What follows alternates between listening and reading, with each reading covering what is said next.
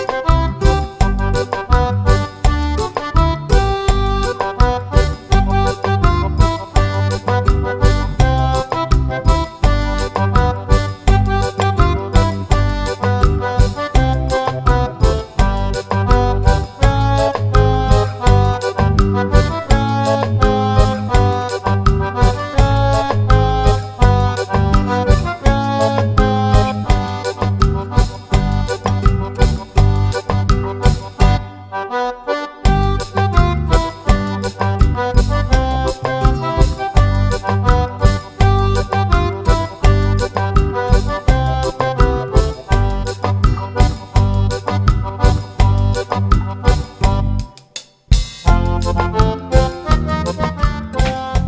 that is a fish. See you next time.